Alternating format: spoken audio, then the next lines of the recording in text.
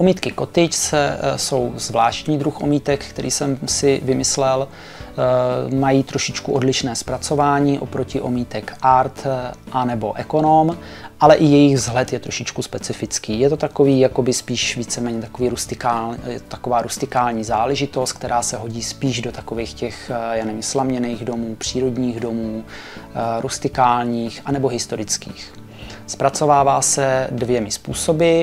V obou dvou případech se nanáší vždycky vlastně v jedné vrstvě, není je zbytečný nanášet vlastně ve více vrstvách. Eh, pokud se nanáší, může se nanášet jako hladký povrch, to znamená vezme se hladítko a jenom smíchá se hliněná omítka s vodou a pomocí hladítka nechá se to půl hodiny odstát a pomocí hladítka se vlastně nanese jednolitá vrstva.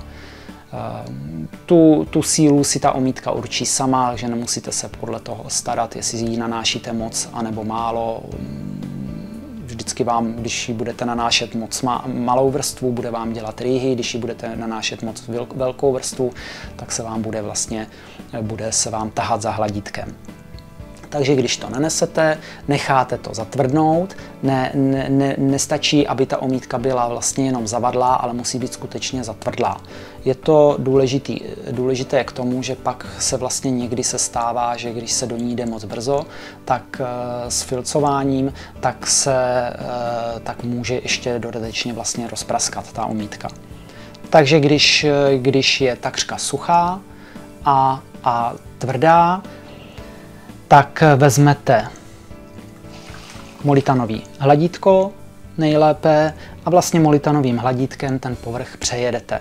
Používáte hodně vody, eh, která, kde vlastně při tom prvním filcování vám to slouží ten hodně vody k tomu, abyste vlastně celý ten povrch umyli.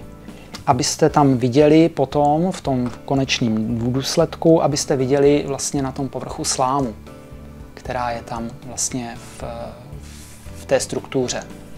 Pak počkáte, až se ta z prvního filcování ta voda vsaje a, v té, a zhruba za 5-10 minut vezmete už jenom zlehka navlhčenou houbu, která musí být hodně vymačkaná a vy ten povrch už jenom jakoby přejedete.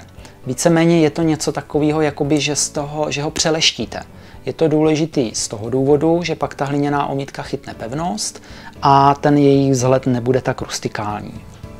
Je to vlastně vidět tady na tom vzorku, kde pokud byste tu hliněnou omítku nechali jenom uh, zafilcovali pouze jednou, tak ten povrch, tak jak je tady vidět, tak bude takový, vidíte tam kamínky a je to takový jakoby víceméně takový hrubý. Kdežto, když eh, ten povrch uděláte po druhý tím filcováním, tak vidíte, že to chytne takovou, eh, takovej lesk a takovou vlastně jakoby hladkost. Ten efekt je skoro stejný, tak jak když eh, přelíčíte stěnu vlastně několika vrstvami vápna, tak, tak na vás bude působit i ta omítka kotič. Akorát s tím, že ona může být vlastně jakoby udělaná i rustikálním stylem, tak jak je ukázaný vlastně na tomhle vzorku. Ten rustikální styl se dělá tím způsobem, že se nanese vlastně pomocí hladítka, tak tahle klidně, jakoby tahle hrubá vrstva, kde je jedno, jestli jsou tam vlastně hrany, nebo prostě jak kdyby to natahovalo pětileté dítě.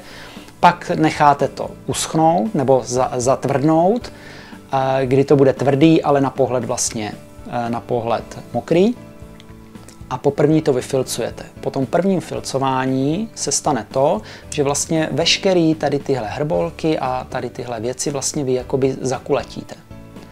A když potom provedete druhý filcování, tak ten povrch je takový, jakoby jak vidíte, takový hrbatý, občas jsou tam vlastně díry a jsou tam nějaké nedokonalosti, které potom dělají vlastně u té omítky to podstatné, a to je ta živost a to je to, proč jsem to vlastně jakoby vymýšlel, protože chtěl jsem omítku, která bude na pohled vlastně uh, mít uh, takovou jakoby živý vzhled a přitom současně vlastně hliněný.